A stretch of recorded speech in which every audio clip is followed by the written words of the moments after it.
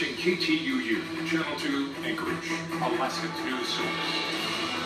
And now, the Channel 2 News Hour from the state's number one news team. Good evening, everyone. It is one of the most contested and emotional parts of the state budget debate, the impact on state employees. Those workers took their concerns right to the door of lawmakers today. Channel 2's Mallory Peebles was there when dozens of state workers faced, facing layoffs showed up for a conference committee meeting. Mallory.